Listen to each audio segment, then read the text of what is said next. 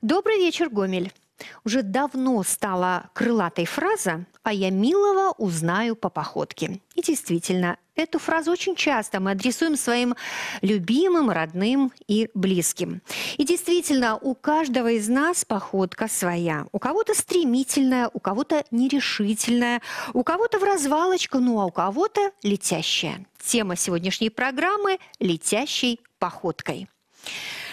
Как правильно ходить? О чем расскажет походка? Именно такие вопросы мы задаем сегодня вам, уважаемые телезрители, поэтому, пожалуйста, высказывайтесь, звоните нам 34 22 43 номер нашего телефона. Также мы ждем ваши сообщения в Viber. Номер вы видите на экране. Этим вечером наши эксперты и гости научат, как правильно ходить, научат ходить красиво и без ущерба для здоровья. Ну а также подскажут, что нужно предпринимать, чтобы осанка и походка были королевскими. Дорогие друзья, вы помните эту знаменитую сцену из комедии «Служебный роман», когда секретарша Верочка учила свою начальницу ходить? Она ей советовала – Втянуть все спереди, лишнее сзади, выпрямить спину, расправить плечи, поднять подбородок и сделать несколько шагов. Неудобно, не правда ли? Дорогие друзья, вот как правильно ходить, об этом наши эксперты прямо сейчас. И я приглашаю незамедлительно в студию тренера по спортивной аэробике Светлану Кашанскую. Светлана, помните, что вы идете в прямом эфире, пожалуйста, проходите. Добрый вечер. А, добрый вечер. А также ортопеда-травматолога медицинского центра детский доктор Александра Прокопенко. Добрый вечер, добрый вечер, дорогие друзья. Светлана, вот вы мне скажите, вы физкультурный работник, наверное, уже с 30-летним стажем, так? Ну да. Да, да, да. И я знаю, что э, ну, вот отзывы такие, что вы любого научите правильно ходить. Это так? Это так, конечно. 12 лет вы работаете в средней школе 45. И все ученики школы, если хотят, то могут научиться правильно ходить. Я не ошиблась? Вы не ошиблись. Все ученики, которые ходят ко мне, ходят исключительно правильно и красиво. А, к вам на уроки да. физкультуры и на тренировки по... по спортивной аэробике. Потому что самое главное и основа, чтобы находиться на этом уроке, нужно правильно держать спину. Но мне кажется, что каждый ученик, который идет по школьному коридору, видя вас, выпрямляет спину. Безусловно. Особенно мои девочки, когда они видят, что я иду, они сразу контролируют и походку, и осанку, потому что все профессионалы знают, основа хореографии – это спина. Спина должна быть как стена. И как струна, наверное, как Александр струна. Анатольевич, да? Да. Так, ну вот вы сказали, особенно мои девочки, но у вас же и мальчики ходят э, на занятия. Их не так много, но и мальчики ходят. Хорошо. Светлана, э, я знаю, что э, вы пришли в эту студию не одна. Не одна. С вами сегодня воспитанницы, так? Мы приглашаем Диану и Лену. И посмотрим на результат трудов совместных действий тренера и воспитанниц. Я, так, Диана, Елена, я не ошиблась, да? Лена, вам первый вопрос. Скажите, пожалуйста, вот вы сейчас шли красиво, аккуратно. Это была специальная походка для прямого эфира? Нет, это была моя обычная повседневная походка, как я хожу в обычной жизни каждый день. Ну, спросим у Дианы. Ну, Диана специально что-то делала. Нет, это моя тоже обычная походка, которую я хожу каждый день. Прекрасно. Хорошо. Вот такая прекрасная осанка. Это результат трудов или это спасибо родителям от рождения? Нет, это результат трудов благодаря нашим тренировкам. А как давно вы тренируетесь? Я тренируюсь уже 10 лет. О, это очень много. А, Кстати, вы ученица какого класса? Десятого. Мгм, То есть с первого класса. Что скажет Диана? Родилась такая, с королевской стати. Это э, благодаря гимнастике у меня. Мы это каждый день э, тренируем спину, качаем, занимаемся у станка, у стенки. А я думала, Диана сейчас скажет спасибо моим родителям, маме и папе. Ну, им тоже, конечно, спасибо. Девчонки, а вот трудно ли быть всегда такой подтянутой? Вот я скажу, что Александр Анатольевич, наверное, заметил, что я уже несколько раз сутулилась. Вот, что это довольно непросто ходить так всегда. Может, это даже и вредно. Ну, мы уже это выработали на тренировках, это уже у нас автоматически. То есть для нас это несложно. Мгм. Хорошо. Тогда давайте попросим Светлану э, рассказать и показать, как же вот понять, когда, в какой момент и в каком положении тела осанка правильная. Что нужно сделать? Мы можем для вас провести тест. Так. Для этого девчонки подходят вот К у нас опорам к этим, да? опорам, да. это Вообще будет идеально к сте- стеночке, да? Идеально к стеночке. И мы можем очень просто проверить. Для этого э, к стеночке прижаться пяточками, икры, Ягодица. ягодицы, лопатки, затылок, ну и вот заканчивая макушкой. Так. Вот все прижались. Если вы соприкасаетесь полностью, значит у вас спина прямая. Сейчас, девчонки, сделайте шаг от стеночек. Ну и вот, проверяйте. Если вы хотите еще раз убедиться, вы можете опять сделать шаг назад. Прижимаемся. И все наши уважаемые, да, Зафиксировали, да? зафиксировались, уважаемые телезрители, и пошли. Так, в и запомнили королевскую, Королевскую осанку. осанку. Александр Анатольевич, а я вот еще слышала, что, да, прижаться к стене всеми точками, которые перечислила Светлана, и попробовать э, руку э, между стеной и поясницей. Обязательно до- должно быть вот это место, да, в этом свободное. месте расположен Попробуйте. физиологический поясничный лордоз, и Да, он должен есть. быть в изогнутом состоянии. Но на бытовом уровне э, сложно спине нетренированной запомнить это положение. Проще взять книгу, положить на голову и пройтись. Да, а мы попробуем, а мы попробуем. Дианочка, ты можешь нам показать? Лен, расслабься. Да. Получится или нет? А вот пройди в красную зону. Так, молодец, прекрасно, это достойно аплодисментов. Можно еще и вазу, наверное, Светлана сверху. Владимировна, ну я не буду пробовать. Может быть, разве только в конце, в финале программы. Спасибо, девчонки. Вы можете пока расслабиться. Светлана, проходим.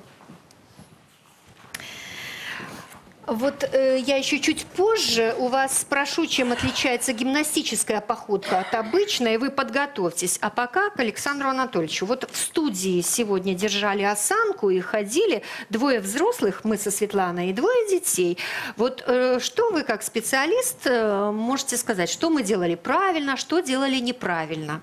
Ну, по девочкам вообще ничего плохого не могу сказать. Это юные краси- красивые цветочки, которых только можно восхищаться. Александр Анатольевич, помните, что мы в прямом эфире? А вообще про женщин не могу ничего плохо сказать.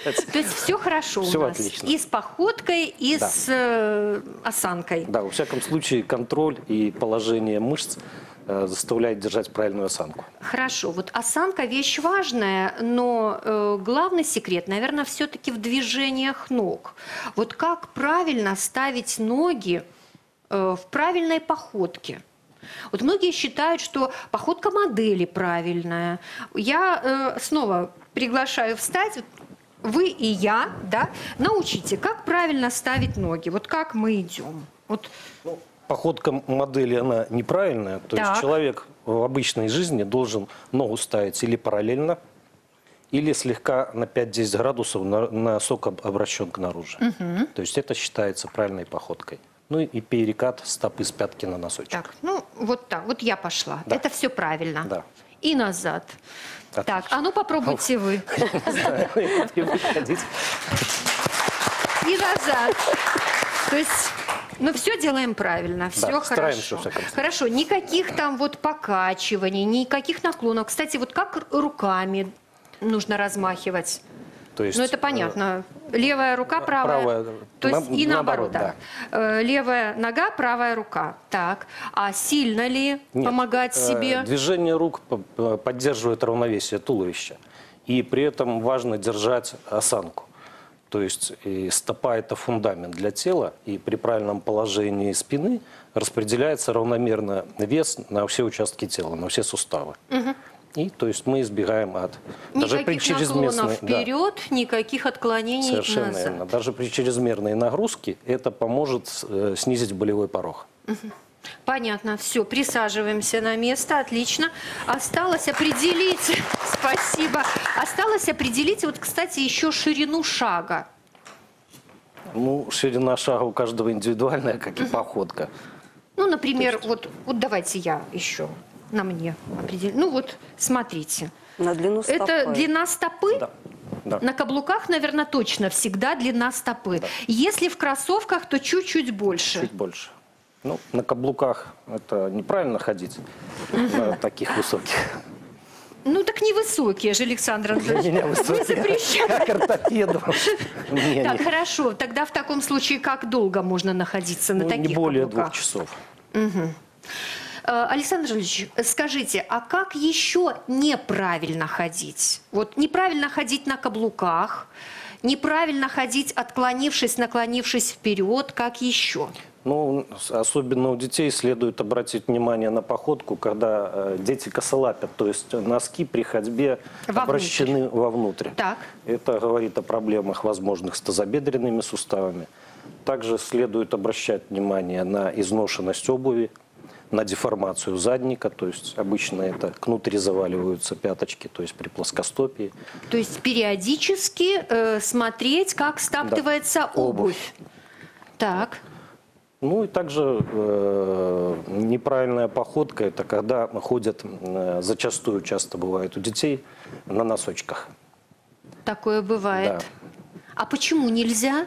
Потому А- что нагрузка на пальцы, да? Ну, идет нагрузка неправильная на передний отдел стопы, что э, в будущем приводит к поперечному плоскостопию.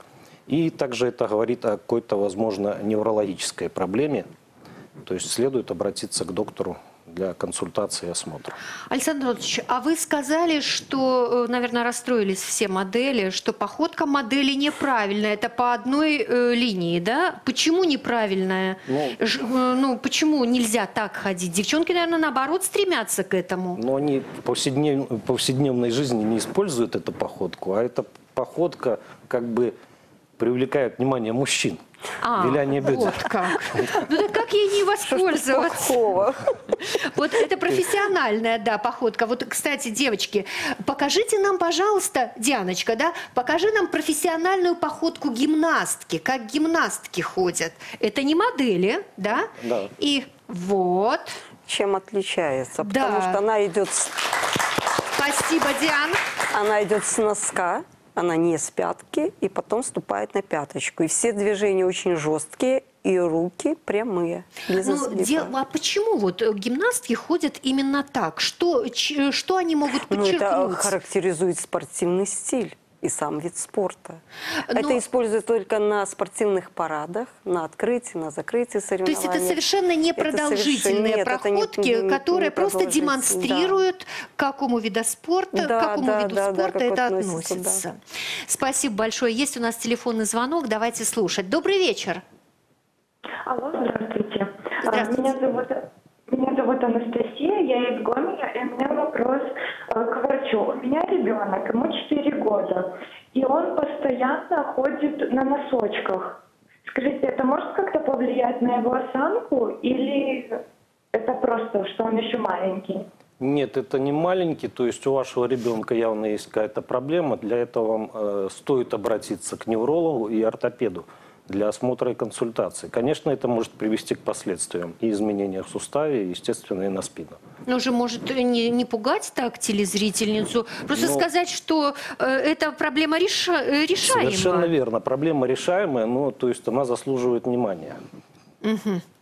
Не нужно это просто да, отпускать. это не все дети ходят. То есть, на, э, А вот, кстати, э, когда грудничков так берешь э, под... э, Ножки. Ну, да, нет, вот именно вот в этом месте, да, ставишь на ножки, они тоже всегда на носочки. До трех месяцев допускается. Мгм. А если старше, то, То снова к на полную стопу. К врачам. Вот так. можно обратиться. Все понятно. Александр Анатольевич, э, вы по походке можете определить диагноз? Ну, не все, ну да. Какие диагнозы определяются по походке?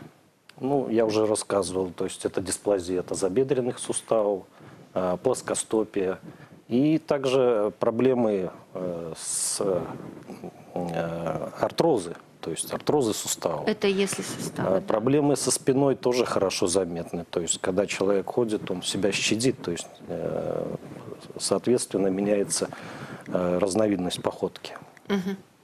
Ну, вы посмотрели, ну, наверное, это же этика врачебная, да, вы же не, не подойдете, не сделаете э, замечание человеку, но посожалеете, что человек вовремя не обратился к доктору. Ну да, это, скорее всего, последствия какого-то заболевания.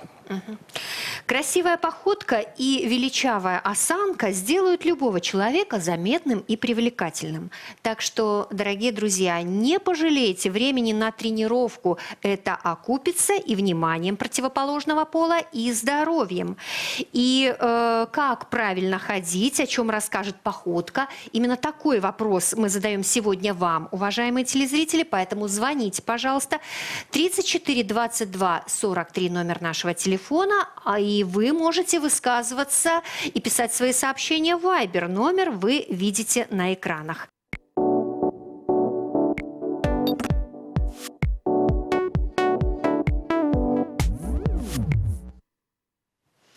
На протяжении своей жизни человеческая походка претерпевает значительные изменения, но все же большую часть человек передвигается уверенно, плавно и легко. Поэтому, когда возникает боль при ходьбе или другие неприятные ощущения, человек, конечно, начинает беспокоиться. Насколько это оправдано, спросим у наших гостей. Тренера по спортивной аэробике, учителя физкультуры и здоровья средней школы номер 45 Светланы Кашанской и ортопеда-травматолога медицинского центра «Детский доктор» Александра Прокопенко. А еще, дорогие гости, я прямо сейчас хочу пригласить в эту студию Веронику Козлову. Вероника, я встречаю вас. Помните, что вы идете в прямом эфире. Вероника – старший менеджер магазина «Все для здоровья» медицинского центра «Улыбка Сервис». Вероника, добрый, Добрый вечер. вечер. Скажите, у вас всегда получается держать правильную осанку? К сожалению, нет. А правильно ходить Тоже нет, не, не всегда. не всегда получается. Но всегда. когда получается, скажем, Ну, когда получается, я чувствую себя комфортнее в этот момент. Просто когда приходит момент, я чувствую себя дискомфортно, я понимаю, что надо держать уже осанку, правильно идти. Тогда мне вот становится лично легче. у меня не получается держать осанку, когда я вечером иду с работы. Нет. Кстати, об Это этом... не сразу происходит. Могу сказать, что первое время тяжело, но постепенно вы начинаете к этому привыкать. Э, Кстати, об этом пишут и наши телезрители. М, Кстати, Пузиков Александр пишет. Здравствуйте. Как можно разогнуться и выровняться и идти ровно с сумками сдачи? Точно нельзя, да? Зоя пишет. Нельзя носить сумку через плечо. Сутулость прибавляет. Вот. А о чем расскажет походка, пишет, расскажет о возрасте. И чтобы правильно ходить, нужно с детства слушать маму и первую учительницу. Вот, первая учительница тоже плохому не научит. Ну что ж, уважаемые эксперты, вот если у человека появляется дискомфорт, боль при ходьбе, ну, наверное, вряд ли стоит ждать, что само пройдет. Конечно. Что делать? Это первые звонки для беспокойства, для поводов, для обращения к врачу. То есть э, в ноге ли заболело, в пояснице, в плечах. Идем к ортопеду? Ну, не обязательно к ортопеду, можно к неврологу подойти, но С какого-то доктора нужно все равно начать. С чего-то нужно начать. да. Так? А если, может быть, массаж или упражнения, вот Светлана Может скажет, быть. что, Свет- э, может быть, какие-то упражнения поделать, и вдруг все пройдет? Да, Бывает и такое, то есть если человеку помогает массаж или плавание тоже, или э, лечебная физкультура, то он может воспользоваться.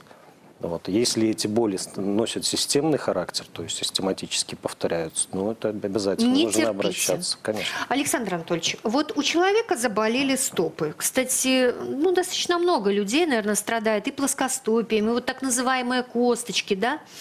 Э, скажите, пожалуйста, вот кто чаще обращается за помощью, мужчины или женщины? Женщины, конечно. Потому что они более дисциплинированы или у них больше проблем? Нет, они более склонны к этому всему. Склонны к заболеваниям стоп? Да.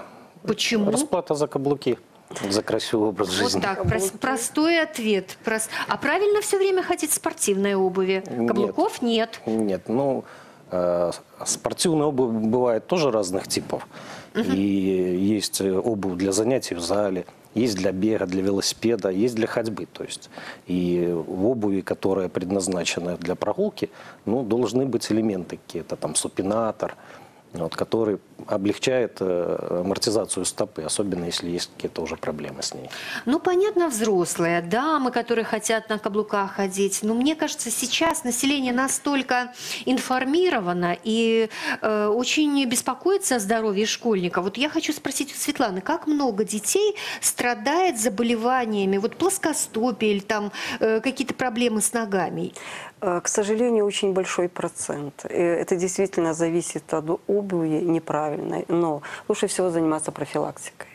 Лучше всего, когда ребенок занимается спортом, физкультурой, очень хорошо танцы. Я могу сказать, что гимнастика, почти все упражнения для стопы – это очень хорошая профилактика для укрепления свода стопы. Как правило, э, девочки-мальчики э, имеют меньший процент э, нарушений стопы. А давайте мы прямо сейчас вот попросим Давайте. Диану продемонстрировать какие-то упражнения. Хорошо. Светлана, прокомментируйте, пожалуйста. Дианочка, разуешься, да. Дело в том, что у нас есть хореография, есть упражнения у станка, на середине. И, Ну, можно и не э, у станка, наверное, да, делать, Да, да? можно и не у станка. Пожалуйста. Я вам даже скажу такое красивое название французское – релеве. Это когда идет перекат с пятки на носок, соединяются коленочки, вся осаночка вытягивается, животик подтягивается, подбородок высокий. Это И как способствует, долго, да, как долго вот так Э, нужно Ну делать? вот у нас идет дозировка 10, там э, 18 раз. Мы можем лицом к станку, мы можем э, на серединке это выполнять.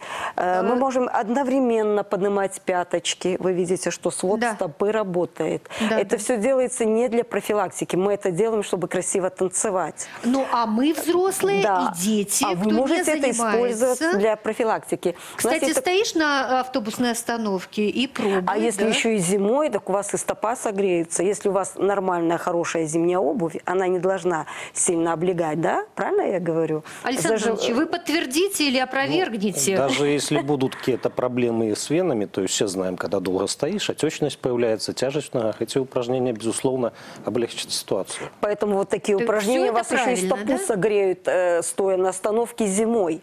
Еще у нас есть вот разновидности ЖТ, когда ножка на 45 градусов выводится, видите, пяточку можно на себя, носочек. Да, вот вы тоже видите, скользит пяточка Да, ну, по дом- полу, да, дома работает стопа. делать, да. Постоянно на протяжении всей тренировки стопа в таком положении. Или пятка поднимается, или носок, или все возможные перекаты. За счет этого свод стопы, мышцы укрепляются. А вот и они еще держат эти косточки. Понятно. А Я вот еще слышала, девчонки говорили, черепашка, черепашка. это как да, да. выглядит? Это черепашка. Вот это упражнение, которое используют, насколько я знаю, на лечебной физкультуре. Так, и мы так. это тоже используем, чтобы укрепить пальчики и свод стопы. Вот, вот так вот передвигаться. И взрослым, и детям. Это действительно так, Александр Ильич. Все возможные прыжочки. Э, Вот сейчас Диана правильно прыгает, она приземляется с носка перекатом на пятку. Это тоже очень важно. И вы обратите внимание, что все эти упражнения, они очень комплексно да, э, в соединении с упражнением для спины. При этом спина правильная, ягодицы зажаты, лопаточки, то, что мы говорим всем, на прищепках. То есть они не, должны, да, они не должны торчать. Спасибо большое. Вот Диана, наверное, может, может присесть, и Светлана. А мы с Александром Анатольевичем идем, потому Повторимся, что... Да? мы повторим, да. Хорошо. И э, подойдем вот к этому э, столу, на котором обычные предметы бытовые, которые найдутся в, в каждом доме, правда? Если у кого-то нет тренажера для разминания или там тренировки стопы, можно использовать все, что угодно, бутылочки, да? Да, это самые дешевые и практически каждый может найти без сложности эти все предметы. Но это уже раритет. Ну, может Ну, быть, у э, кого-то остался, да, Ну, бухгалтерские аналоги счеты. продаются, то есть э, массажеры они Ну, вполне Диана, доступны. наверное, попробует на, счет, э, на счетах, Лена, если можно. Вот покажите, как можно обычными бутылочками, да, стопу упражнять. Так. Минус этих дешевых средств в том, что родителям это ничего не стоит, и получается, детей надо контролировать, чтобы они это делали. Поэтому лучше это делать во время просмотра каких-то передач. Э, Сидите, добрый вечер, Да. смотрите и катайте, пожалуйста, чтение скалку. книг, литературы. Да. Вот. Вот. Можно еще Можно счеты две заменить бутылочки? да. А, вот так. скалкой. Диан, второй ногой. Поработай хорошо. Раз, раз. Так, ну все, Чуть получается, быстрее. Лен, здорово, да?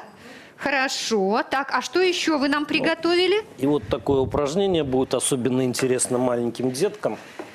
А, Лучше делать это в игровой форме. То есть отец или мама разбрасывает игрушки и по очереди собирают, так, а, кто так быстрее. вы разбросайте. Вот давайте им задание дадим. Вот такое. Мелкие игрушки, лего подойдет, да? Или Да, еще какая-то Можно собирать мелочевка. или в одну баночку, или каждый в свою баночку. Это очень хорошо раздражает стопы и э, нагружается мускулатура и связочный аппарат. Наверное, мы можем посоветовать такое упражнение делать и взрослым, да, Александр Анатольевич? Конечно, бончики приятные. Можно и лего собирать, спасибо. Девчонки, побыстрее, побыстрее. Девчонки, ну вы собирайте, а потом можете литературой заняться или тренировкой стоп дальше.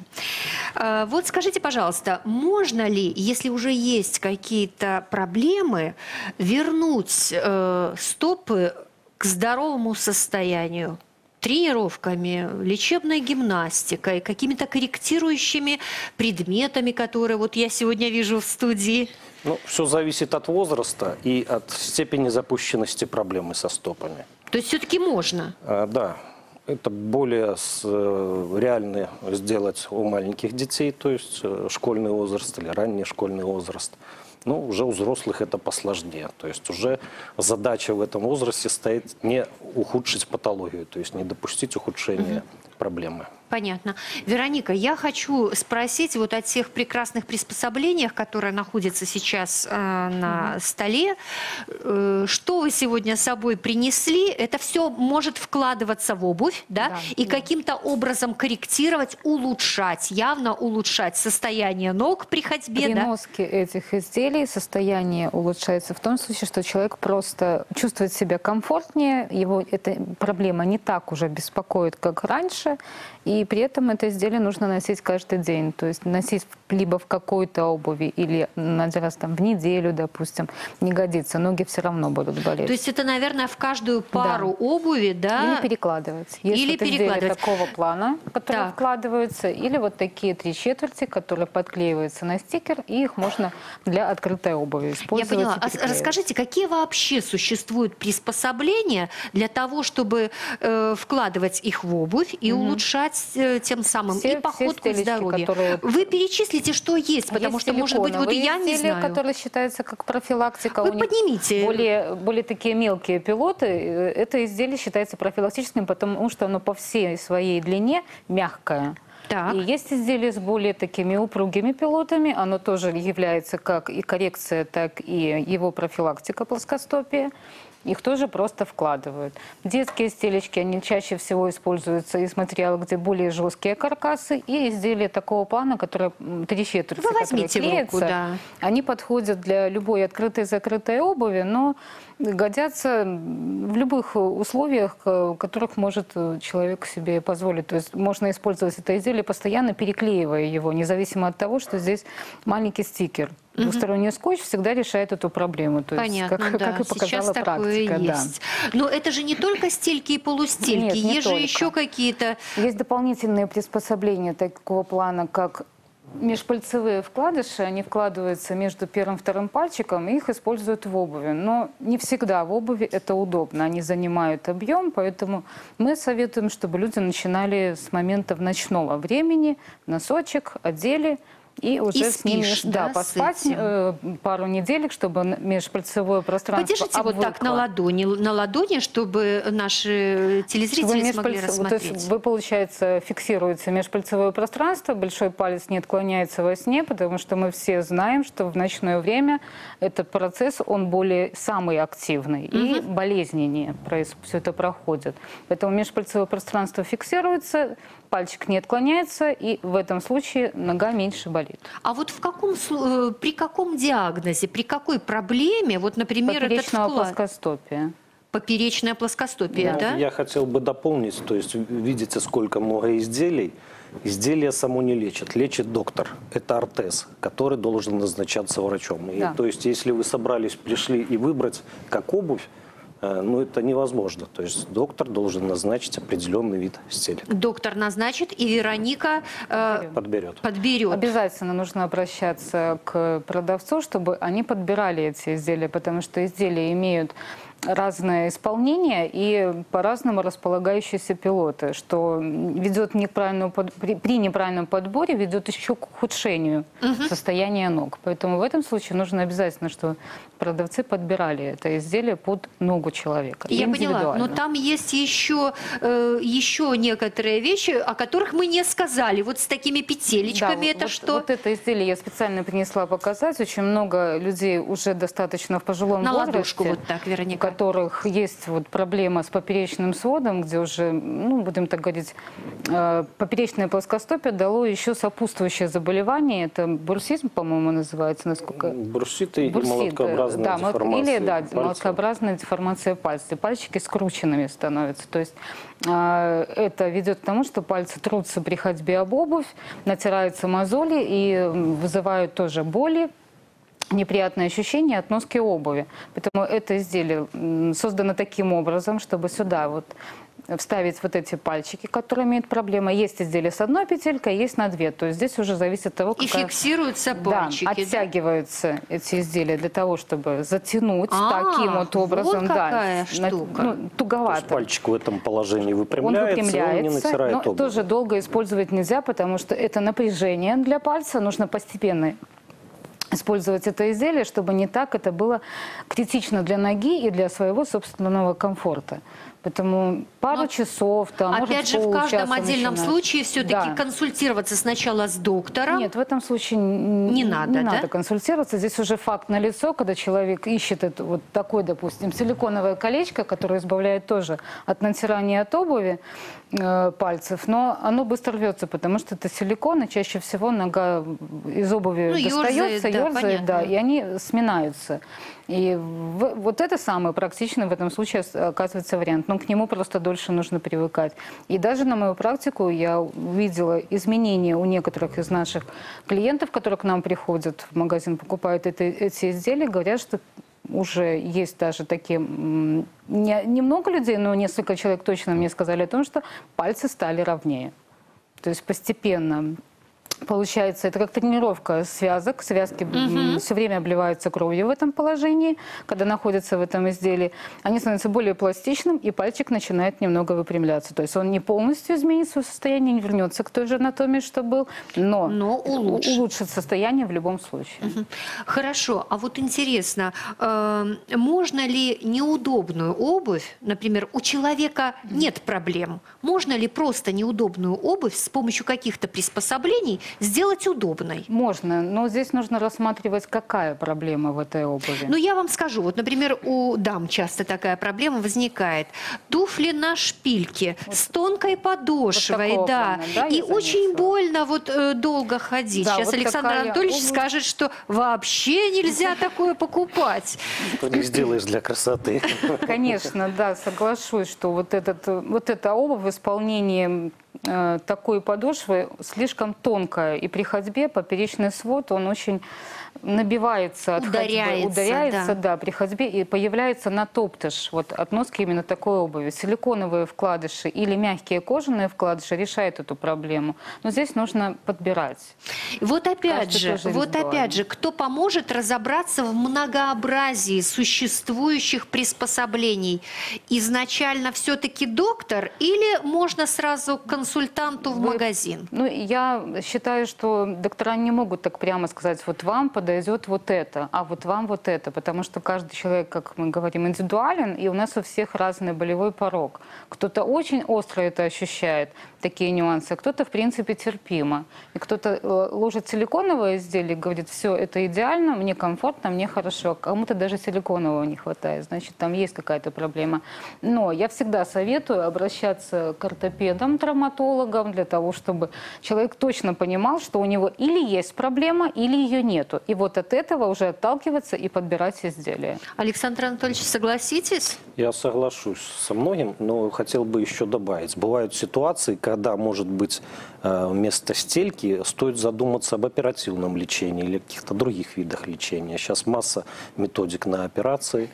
И, то есть, возможно, небольшая операция решит какую-то проблему, но это не означает, что после операции вы будете жить с новой стопой. Нет, этими изделиями вам надо будет пользоваться пожизненно. Мгм. Но все-таки, я думаю, надо сначала в магазин за стельками, да, с упражнениями, с тренировкой. Обратиться к врачу, купить стелечки и, конечно же, тренировать стопы. Это в любом случае. Э, Вероника, я вот слышала силикон, кожа. Из каких материалов в основном изготавливаются эти изделия? Это ну, для кожи ног не вредно и для Нет, здоровья? абсолютно не вредно. Это не вызывает никаких-то последствий определенного фактора, как кожные заболевания и тому подобное. Изделие силикон, а, оно всегда гипоаллергенно. Но, может быть, есть исключительные люди, у кого просто аллергия на именно вот это изделие, само состав силикон или Да-да. гель. Ну а так проблем никогда с ними не было. Кожаное исполнение изделий, которое поверхность кожаная, не, не вызывает также проблем, если у человека нет тоже соответствующего показания о том, что у него аллергия на ко- именно на кожу. Поэтому в этом случае любое из- изделие не вызовет у вас никаких проблем, если вы будете просто носить, но правильно ухаживать за ними. Здесь тоже нужно Вот, кстати, да, это прослушивать момент, надо, да, наверное, что да? изделия ну- нужно обязательно ухаживать за ними, потому что они имеют свойство изнашиваться, и в обуви, которая мало проветривается, они также по- поддаются очень медленному процессу гниения. Это ну, бактерии, грибок, то есть вот этот момент может потом возникнуть, если человек не ухаживает за стельками. А так проблем не будет. Спасибо. Есть у нас телефонный звонок, давайте слушать. Добрый вечер. Пожалуйста, говорите. Алло, здравствуйте. Как вас зовут? Людмила Гомель, у меня такой вопрос. Скажите, есть ли какие-то приспособления для лечения половарусной стопы на фоне неврологического заболевания? Или это нужно сначала к врачу-неврологу обращаться? Спасибо. Понятен вопрос? Да, конечно. Да? Спасибо, Людмила. Попробуем ну, ответить и Вероника, и Александр Анатольевич. Ну, наверное, я начну. Да. да. Э, Ну, диагноз тут неправильно, наверное, сказан. Может быть, я ошибся. Спасибо за вопрос. Плосковальгусные стопы. Ну, А что это значит? Вот это, плоскостопие? да, грубо говоря, плоско. То есть это плоская стопа, и пятка стремится к наружу. То есть такая X-образная, когда ребенок стоит, X. А, в любом случае, эта патология коррегируется ортопедом. То есть требуется осмотр ортопеда, э, и уже делается из осмотра ребенка, это или плантоскопия, или снимки стоп, э, решается вопрос, стоит ли эту применять стельку, какую именно стельку, или же ребенок нуждается в ортопедической обуви. Но стельки существуют, да, Вероника? Так стелечки, они и есть уже таковыми, которые... Для э- да, вот именно для с этой проблем. Да, для- То есть для все проблем. есть, Да. если Просто Людмиле есть посоветует изделия- ортопед. Да, есть просто изделия, которые выполнены с более мягкими пилотами, а есть более жесткими. Вот на это должен обратить внимание именно ортопед. В, в этом случае что лучше советовать пациенту? Ну, есть и у изнач- ребенка неврологические Да. проблемы, там требуется специфическая коррекция. То есть, Даже может быть, обычной стельки недостаточно. Ну, это все решаемо. К счастью, прекрасно. Э, Вероника, скажите, пожалуйста, какие еще э, товары ну так, или приспособления напрямую или косвенно могут способствовать красивой походке, хорошей осанке? Ну, здесь может быть только корректор, корректор осанки, который, в принципе, впоследствии дает возможность мышцам держать спину правильно. У нас и есть ровно. корректор Да, осанки? есть. да? А, Мы тогда попросим, давайте я схожу за корректором, так? Пожалуйста, спасибо. Так, Вероника, поможете, кому мы будем? Диане, Девушка, Лене? которая повыше. Так, попробуйте вот здесь.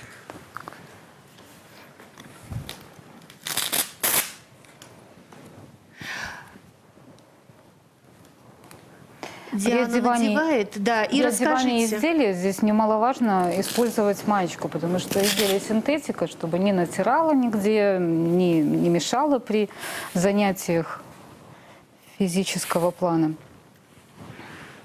Они по размерам, да, Да, эти корректоры? изделие обязательно подбирается по размерам и меряется прямо в магазине. Для того, чтобы корректно подобрать изделие, продавец замеряет ребенка или взрослого и дает примерить это изделие в соответствии размерной таблицы, которая имеется у производителя. Ну, немного великоват изделие по талии. Девушка у нас очень стройная, с осиной. Гимнастка? Да, поэтому, ну, это тоже все решаемо.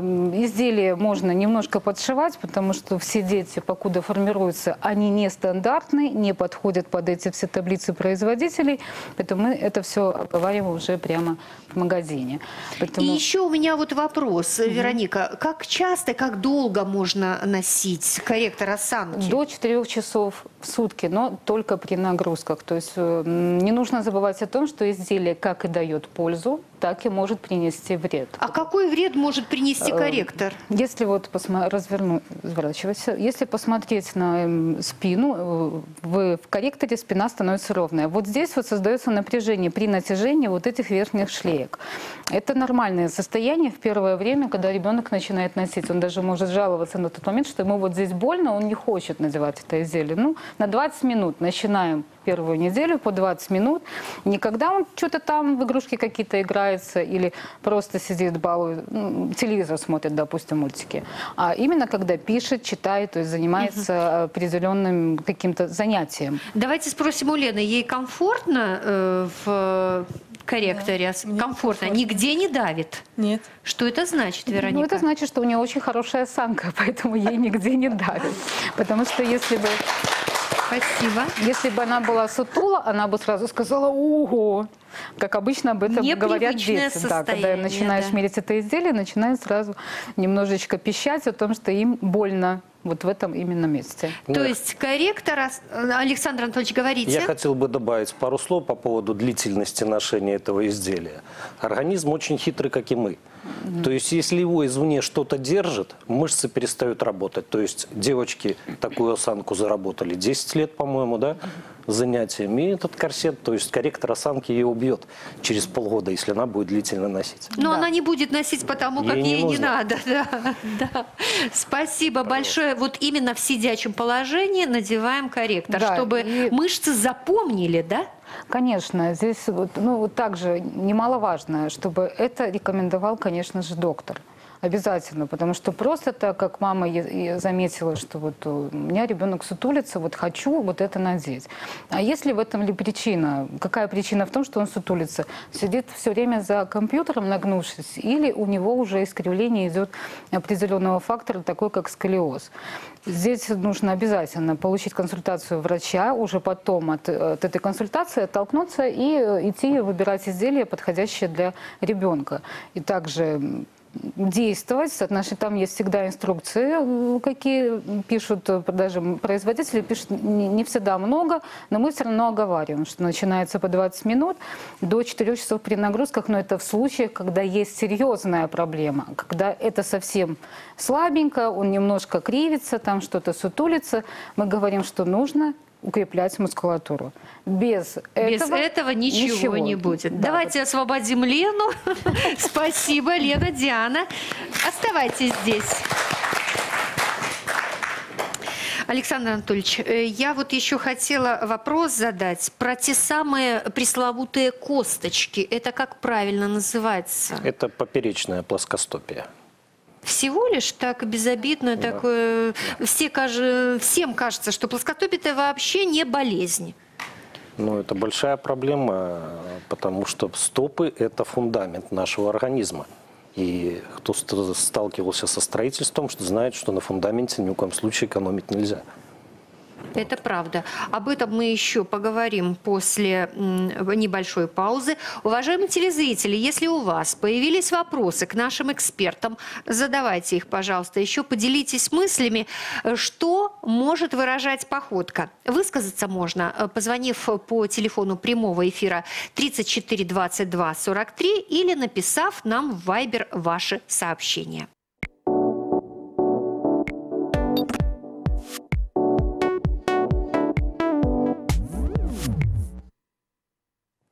Оказывается, походка таит в себе безграничные возможности. Ею можно соблазнить, а можно и сообщить о своей неприступности. Подтвердит ли это наш следующий гость, точнее гостья? Я приглашаю в эту студию Ольгу Грицинок, психолога. Ольга, помните, вы идете в прямом эфире. Добрый вечер. Добрый вечер. Ольга, вот Александр Анатольевич с легкостью по походке определял диагноз. Скажите, а вот с психологической точки зрения, что вы можете прочитать по походке человека? И что можем мы, мы э, обычные люди, не психологи, узнать по походке человека? А, Я как психолог стараюсь не делить походки на правильные или неправильные. А, псих- Психологи обычно говорят, что походка – это так же, как характер. Это отражение характера, это отражение темперамента, а еще главное – это отражение того, с какими мыслями человек идет по жизни. А, Как он справляется с грузом забот, насколько его что-то ободряет и делает тогда походку летящей, насколько э, у него а, радует ли его перспектива, есть ли у него какая-то хорошая цель, к которой он будет стремиться, и чувствует ли он опору внутри себя, чувствует ли он уверенность себя, и тогда это держит его спину ровной. Чувствует ли он э, себя достойно, позволяет ли ему ситуация это делать. А, Здесь вот, например, подросток идет. Допустим, даже у него немножко сутулая спина. Но поскольку он подросток, он просто, возможно, еще не очень уверенно себя чувствует во взрослой жизни. Он не Все же всегда... позволить ему сутулиться? Вот н- посмотреть ниже. Как идут его ноги? Если Так. ноги идут уверенно и быстро, это значит, что он, может быть, спешит пройти какой-то сложный участок. Но пройдя его, он получит опыт, который сделает его сильнее. И он преодолеет он- что-то, и тогда его уверенность раскроет его спину. А чтобы ему помочь, подскажите ему, где он, в чем он силен. Где его сильные стороны, в чем его достоинство, в чем он крут. Это уже концов. задача родителей. Да. Или педагогов, если кто-то может поддержать. Педагогов, В чём- да, в физкультуры он и крут, здоровья. Это окрыляет и, конечно же, да, раскрывается спина. Скажите, пожалуйста, насколько важна мотивация вот в этом деле? Может, Вот. вы о себе расскажете? Вот как вы раньше в детстве ходили? Я сутулилась, это точно. Э, Наверное, как и многие детки, поскольку мы все современные дети учимся в школе. А, Я помню вот такой момент, когда мне было лет 11-12, мама очень много сил потратила на то, чтобы объяснить мне, что вот ходить нужно и ставить ножки параллельно. Не Я разворачивать старалась вот носки, так вот, да? да, уточкой. так. А, Года два это все длилось. А, Сработал совет папы, он сказал всего два слова. Но здесь, знаете, сработал этот принцип, когда дети подрастают и входят в подростковый период, советы э, родителя своего пола воспринимаются уже совсем не так. Вот если скажет родитель противоположного пола или другой взрослый, которому подросток доверяет, эти слова засянут гораздо глубже. Папа сказал очень просто. Вот ты идешь по дороге, представь, что как на шоссе разделительная полоса. Твои ножки должны становиться параллельно. Ничего сложного. Но это сказал папа. Он у меня не очень э, говорлив, поэтому эти Да. слова я запомнила. Все. Два года Никаких маминых вопросов. попыток ситуацию не исправили. Никак. Вот. Потом, когда появились у меня первые каблучки, а, он сказал тоже очень простую вещь. Ты же обрати внимание, ты встала на каблучок, твое тело естественным образом сместилось вперед, и голова ушла вперед. Центр тяжести сам смещается. Но только ходить же ты так не сможешь. Следи, чтобы голова всегда была чуть дальше. Вы, Всё, э, ближе к звездам. вопросов. Да, да. Вот как показывали э, девочки у нас вдоль опоры. Все. Больше ничего не нужно было для красивой походки. Два совета. Ольга, скажите, а вот э, действительно ли походка это дело индивидуальное, это как отпечатки пальцев? Да, это отпечатки нашего характера, отпечатки наших мыслей. Но она всегда, конечно, меняется. Это отпечатки еще состояния, потому что а, женщина, а, ходящая пош- вот, в процессе шопинга, у нее совсем другая походка. Не так, как она идет с работы, не так, как она ведет в садик ребенка. Это все отражение наших эмоций и переживаний. Мгм. Есть у нас телефонный звонок, давайте слушать. Я только хотела зачитать, но слушаем, конечно, вас, уважаемый телезритель. Добрый вечер. Доб- Добрый вечер. Добрый. Будьте добры, я смотрю передачу, заинтересовалась э, магазин «Все для здоровья», Так. сервис. Где он находится, адрес его? А мы, наверное, на баннере давали, да? Давали на баннере. Но у нас Вероника в студии, поэтому э, я вот... э, Вероника, пожалуйста, да, можете к нам выйти и ответить на вопрос. А, у вас же свой микрофон. Да, подходите, подходите ко мне. Куда, куда зайти? Ну, Это нужно подъехать на ул- улыбку сервис, медицинский центр, который располагается по улице Барыкина, 132. Территориально это фабрика «Прогресс». Остановка, если ехать седьмым троллейбусом от вокзала. То есть, в принципе, до вокзала можно добраться любым транспортом, а там садимся на семерку и едем до этой остановки. Через дорогу мы заходим Еще график работы, скажите, это с важно. понедельника по пятницу с 9 до 7 мы работаем без обеда, суббота с 10 до 5, воскресенье с 9 до 2. Каждая вторая суббота месяца у нас с 9 до 2. Спасибо большое. Пожалуйста, приходите. Всего доброго. Ну что, уважаемые гости, я хотела зачитать несколько сообщений из э, Вайбер. Вот мне очень понравилось, Александр Анатольевич подтвердит, Ольга, Светлана. Чтобы красиво ходить, надо научиться правильно стоять, сидеть и лежать, написала Наталья. Это так? Как ребенок развивается, такой последовательностью все надо учиться. Как правильно ходить, пишет Вероника, с улыбкой. И еще ответ Павла. Точно не как ходят модели. Далее. Творческие люди ходят обычно медленно, делают размеренные шаги. Сергей, это так, Ольга? Абсолютно точно, да? Правильно ходить с гордо поднятой головой, глядя на звезды, пишет Николай. Хороший ответ. И еще вот такой, действительно ли это так? Если равномерно смазать ступню ярким раствором акварельной краски и встать на лист бумаги, то можно сделать выводы о наличии или отсутствии плоскостопия. Ну, совершенно верно. Ранние методики диагностики плоскостопия так и проводились. Но век э, идет вперед, технологии развиваются, это можно сделать на плантоскопе. У нас в детском докторе это доступная процедура, недолго занимающая времени. То есть хотите акварелью, а хотите к Ну да, доктору, то есть, и это сделает, и не надо кра- э, морать верно. да, ноги. Э, Так, э, следующее. Ходить надо без сумок, а наши женщины навьючены грузом. Не люблю сумки. Полина Аркадьевна. Плохие мужья, что не помогают носить сумки. Так, да. Рюкзаки. Рюкзаки, Светлана говорит. Если при ходьбе человек сильно машет руками, то это говорит о том, что у него все в порядке с чувством юмора, пишет Алексей. Так ли это, Ольга? Да, скорее всего, и это тоже, поскольку это человек эмоциональный, он э, ярко и широко проявляет эмоции, видимо, и смех тоже. Мгм. И вот такой специальный вопрос. Плоскостопие – диагноз, имея который призывник не идет в армию. Но не все степени заболевания являются причиной отсрочки. Почему? Ведь нагрузки на ноги у солдата огромная. Да и нет возможности отследить, будет ли прогрессировать болезнь, пишет Светлана Петровна. Ну, э, с первой и второй степенью э, плоскостопия забирают э, абсолютно в любые рода войск. Э, решаем, к сожалению, это не мы, а Министерство обороны на основании постановления. Ну и хотелось бы дополнить, что в армии в Соединенных Штатах нет понятия о плоскостопии вообще. То есть делается индивидуальная обувь или подошва. Все это проблема решаемая. Мгм. Ну, я так думаю, что вот с помощью каких-то предметов вряд ли э, солдат э, посадят делать профилактическую зарядку. Нет, это в таком возрасте уже при их нагрузке не поможет. А, То не есть должно поможет. выполняться, да, качественное. Хорошо. Есть еще такой вопрос. Как правильно подобрать обувь при плоскостопии? А я бы дополнила вопрос телезрителя следующим. Как правильно вообще выбрать обувь? Вот у нас сегодня здесь несколько образцов. Скажите, в какой обуви и как долго можно ходить?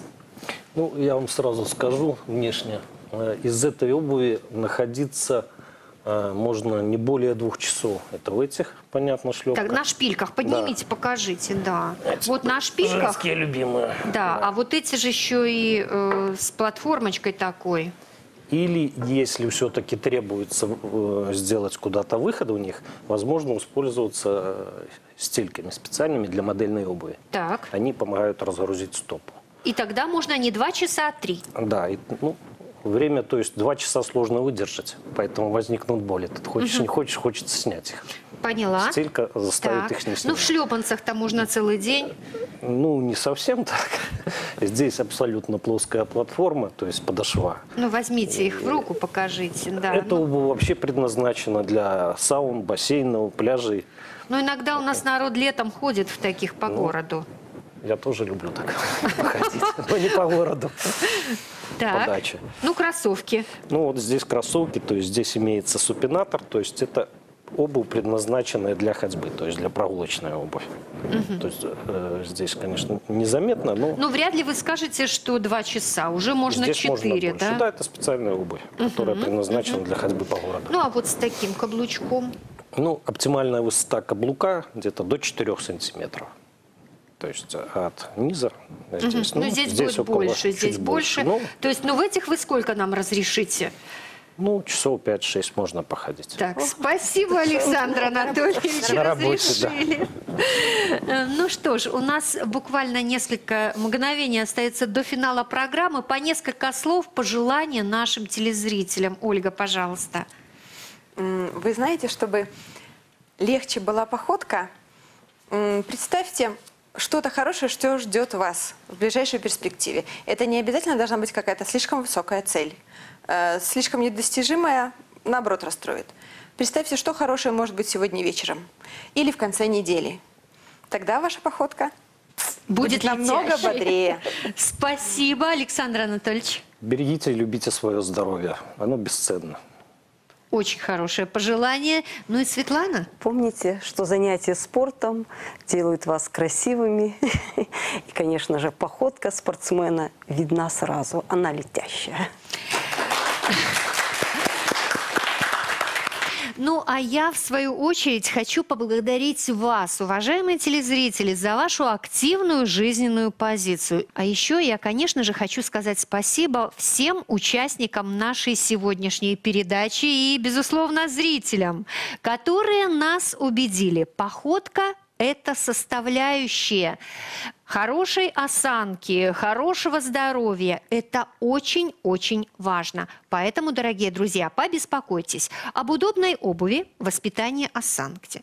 Распрямьте плечи, сбросьте с них груз проблем, поднимите выше голову и вперед к новым вершинам, в том числе и спортивным. Иногда не забывайте загадочно улыбаться себе и окружающим.